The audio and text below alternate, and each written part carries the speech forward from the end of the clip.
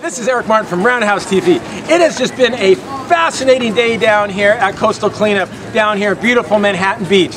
First of all, we have this here, I wanted to show you something. We have lots and lots of cigarette butts that was just collected within a two hour period. A two hour period. And we also have some straw.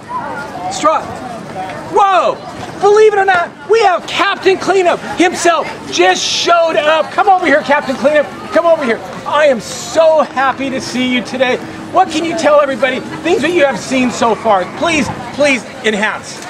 Well, first of all, I'm happy to be here. Uh, I see a lot of trash on the beach. There's a lot of people helping me though, so it is a great cause. I mean, all these cigarette butts, just absolutely disgusting. Like, cigarettes, it not just kills you, it kills other people and other animals as well. Like, come on. Like, why would you do that to yourself and others? Like, really? And then straws, I'm pretty sure we've seen all the sea turtles, straws stuck in their noses. It hurts them, it hurts other animals as well. Just to like sip your cool drink out of a little cup, like, come on, you can't just take the lid off and just sip it out of the cup. Makes no difference. So what should they do with this stuff? Considering Manhattan Beach is a non-smoking beach. Can you imagine a non-smoking beach and you still find all these cigarettes?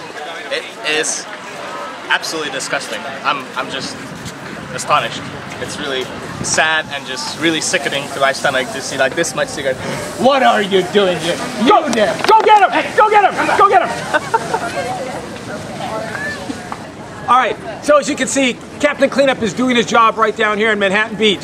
So remember, when you see Captain Cleanup, or if you even don't see Captain Cleanup, just think of his words. We need the beaches and Mother Earth really clean, okay?